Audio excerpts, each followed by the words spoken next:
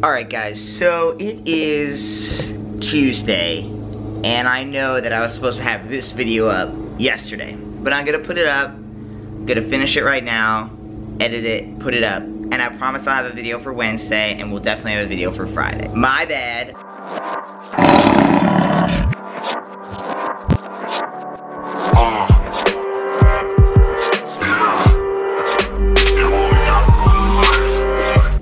I'm happy that I've been able to get this far without missing a Monday, Wednesday, or Friday. So I'm gonna pat myself on the back for that, but I'm also gonna hold myself accountable that I did not post yesterday. And I was trying to think of a video to post, but I was like, I don't feel like making something up. I don't feel like making some four minute video just to throw it out there, right? But something came up and sorry that I look exhausted, I am. This is like the first rain in Oregon in a while and when it rains, you know, like when you just, you could just sleep all day. Even though I went to bed at like 11, 11.30, I still feel like I could just sleep all day. Shout out to Asher, I have my T-Rex cup with some cafe in it, some cafe. Corey, because this is the caf cafe uh, that I got in Philly from him. So, shout out to both both guys. Okay, I'm answering emails and somebody emailed me talking about their top surgery. Pretty much I just want to, you know, make a little couple minutes about top surgery and the aftercare of it. Now, you can go back in my videos and you can see exactly how I cared for my top surgery. You can see before, during, after. I mean, I documented every couple days during that process. I want to say a couple of things, but I feel like the main points I want to make are that when we share pictures online and we ask other people for advice, we have to be careful the things that we're asking for. For example, somebody sent me pictures of their chest, their nipples and their scars, and it's about two or three weeks post-op, and they're asking me what I think. And at the end of the day, everybody's body is different. So what could take me five or six weeks to heal from could take you two or three weeks to heal from, which could take another person four or five weeks and could take someone else eight to ten weeks.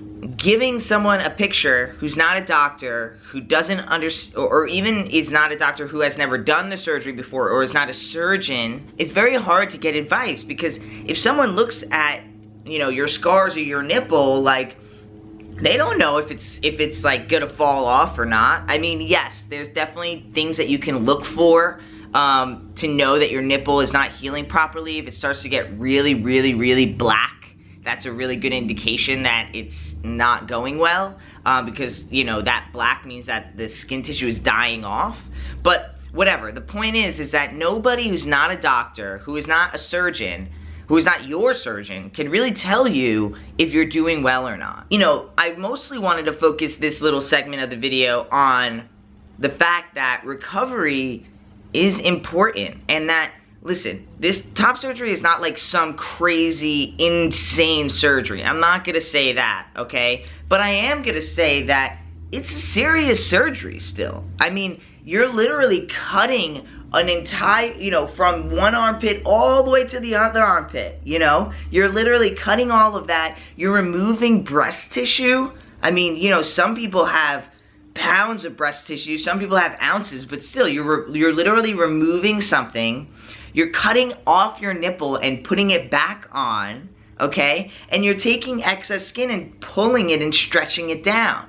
So, it's a pretty serious surgery. Now, yeah, you go in, you get, you know, you get it done and you get home the same day, but it's still serious. And people, you, we need to start treating it a little bit more seriously. It's really hard for me to see people three month, three weeks post-op and they're going like this in their picture.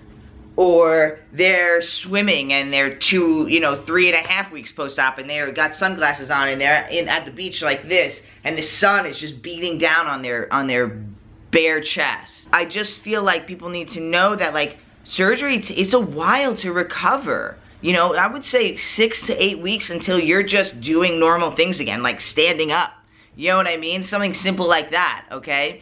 And then, I, you know, literally, I would say six months until you can like I, it was like six or eight months until I was able to wake up and go, Ugh. And I would say a year until I was doing workouts at the gym again. Until I was going up above my head and doing things like crazy, you know what I mean? All types of things above my head. I just want people to remember that, you know, you're not going to get top surgery, wait two weeks, wait four weeks, and be right back at it. And I'm not trying to tell you what to do. I'm just trying to say that if you want your scars to be as as least seeable as possible. And not saying that that should be like your main goal. I'm just saying, you know, a lot of people I know who say, when they first get their top surgery, they go, oh, I don't really care. Oh, it's fine, it's fine. And then two or three years later, they're looking at their scars and they're big and red and thick and that's the word. They're raised on their skin. Or they're just looking in the mirror and they and they start to go like, oh man, I kind of wish I had waited. You know what I mean? I wish I had done this. I wish I had done that.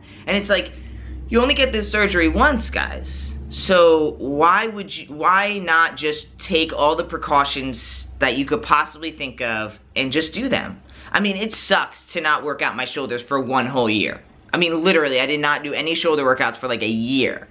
It sucked. But I just knew that, like, I didn't, I, for me personally, I wanted my scars to be as least visible as possible. And so that's what I tried to obtain. Okay, so I listened to all my doctor's order. I took the medicines they took me to take, uh, the vitamins. Uh, I did the um, treatment, the scar treatment. I massage. I mean, I really tried to do what I was supposed to do. And um, I also was working out my chest beforehand. And like, you know, so trying to get healthy before so that I could have a really great time under, like, in surgery and like no complications. And so I just want to remind people that surgery takes time to heal okay? And that you, you, don't try to like macho it out and be like, oh, I, you know, I was at the mall the next day. That's great. That's fantastic. If you felt good enough to get up, not take your meds, go to the mall, have a great time, that is freaking awesome. I'm so happy for you. But I'm going to tell you that 99.5% of us are not going to have that experience. 99.5% of us are going to be on a bed, on a couch and that's what they're going to be doing. They're going to be watching TV, going on online on the their phones, like playing games because you're not going to be able to just get up. And that's again, it's amazing that some people have that experience. I think it's awesome. If you have uh, you know, usually though if you're having a double mastectomy, right? Okay? Um, you're you're not gonna be that great, okay? Um, and you can go back in my videos. You know, I was I was fairly miserable being by the fifth or sixth day tied up and I felt great the next week, but I still was very, you know, I didn't drive for like three weeks, you know? And um, I understand I had that ability, but, you know, I could have also taken a bus. I could have also done a lot of other things. I was lucky to have a boss who was willing to come pick me up. But whatever. The point is, it takes time.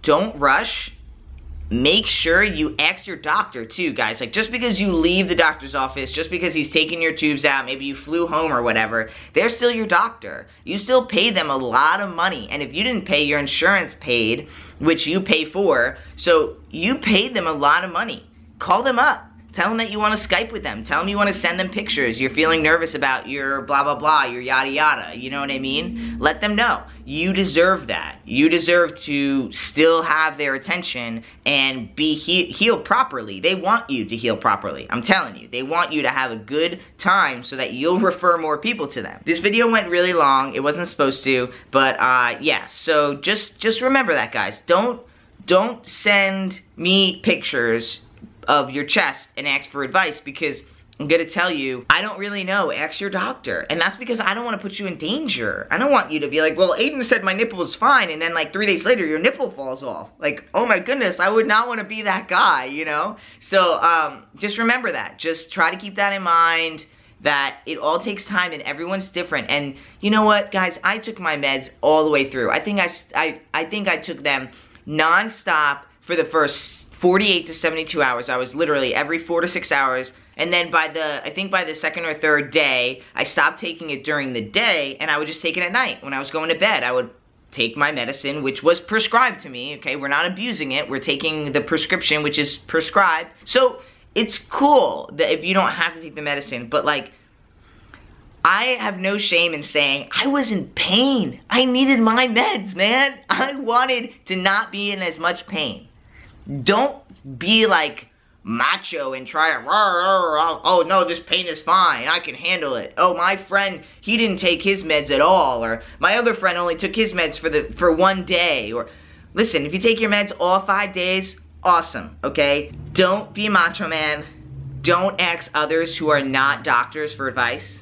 Ask your doctor for advice. That's who you should go to. Don't look to everyone else's recovery to determine yours. You can look to everyone else's recovery and their experience, even my own experience. You look you can look towards my experience as an example, but don't make that be like that's how mine's gonna go because everybody's different. Everybody's different. So, end of this video.